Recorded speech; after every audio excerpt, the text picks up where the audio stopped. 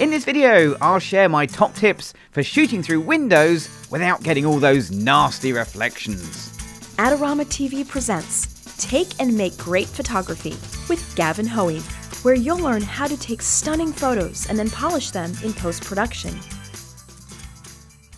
Hello, I'm Gavin Hoey and you're watching Adorama TV, brought to you by Adorama, the camera store that has everything for us photographers. And in this video, I'm going to show you how to photograph through glass windows without seeing reflections.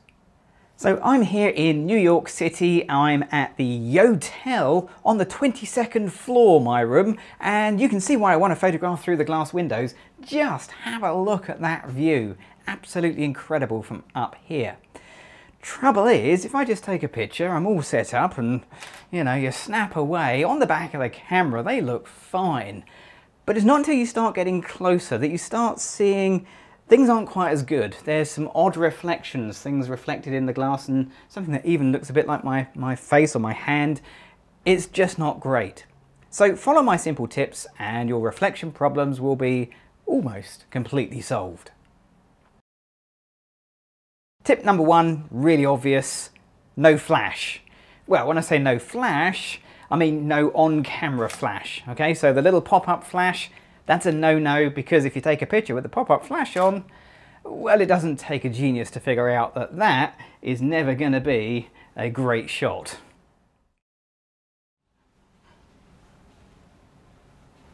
Tip number two is to clean the glass really well. And not just right in front of the camera go right the way across particularly if using a wide angle lens. You'll be surprised how far it stretches.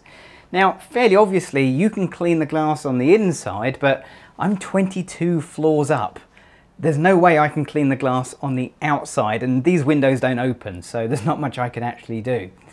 Now in those circumstances tip number three is to shoot when the sun is not directly onto the glass because that will show the dirt and the grime on the outside that you can't control. Similarly, if it's at a bit of an angle, that's not good either. Either wait for the sun to go down or wait for the sun to be behind you so you're shooting uh, with the sun on your back. Tip number four is really if you're shooting an evening shot, a low light situation, turn off the lights in your room if you can to minimize the amount of reflections you get on the inside pane of the glass. So by doing that, you'll find that your reflections will be greatly reduced and your evening and nighttime shots will look 100% better. Don't forget to check out Adorama's latest contest and your chance to win amazing prizes. Next tip is simply do go closer with your camera if you can. So rather than shooting from back here, which gives me problems with the reflections, if I just lean my lens in until it actually touches the glass, the area in which I'm going to see reflections is massively reduced and therefore the amount of reflections are going to be reduced as well.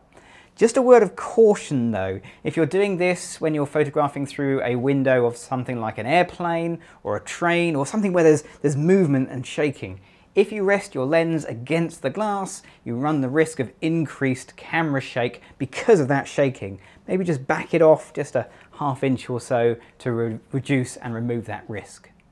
So the next tip is really about the angle at which you face the glass.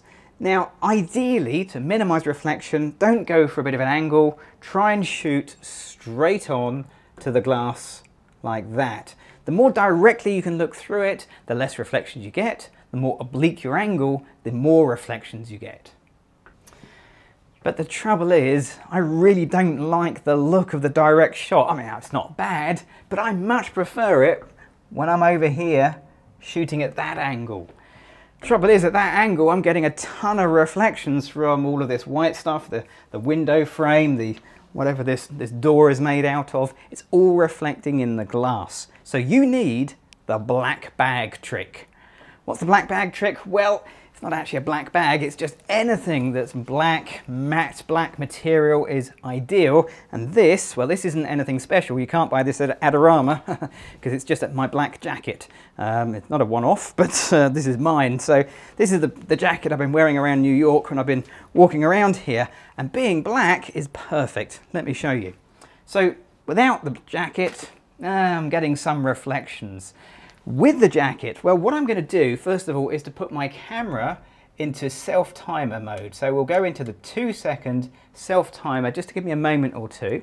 And then I'm going to put this up against this white window frame and this is where I'm getting the reflections from. Let me come over so you can see it. It's this window frame here. The sunlight, what's left of it, is coming through the window, it's reflecting off this white off the wall and that's what I'm seeing. So that's what I'm going to cover with my jacket. So let's get that right up against that white to reduce that. And then the other side's going to come right the way across, but I'll just start the camera, bring that across, and there you go. Have a look at the difference.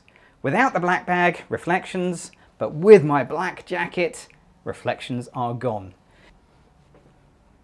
So my last tip really concerns shooting through glass, but in a different circumstances. So let's say you're not at the Yotel here in New York, you're not on the 22nd floor, you're in something like, oh, I don't know, an aquarium, where you can't switch off the background lights to reduce the reflections, because if you switch off the lights, a load of alarms go, and then security comes and it throws me out, or, or something like that. What you need is to try and minimize the reflections by using a filter.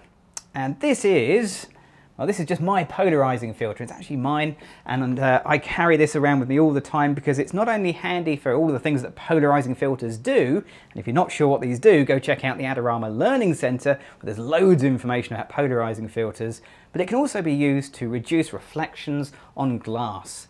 It's not a foolproof solution, but it can be a help.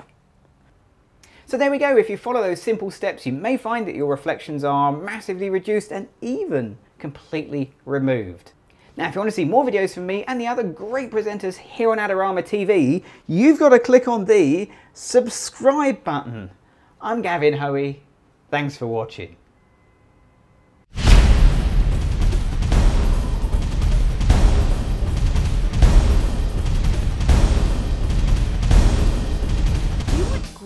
Prints at low cost, be sure to visit our easy to use online printing service.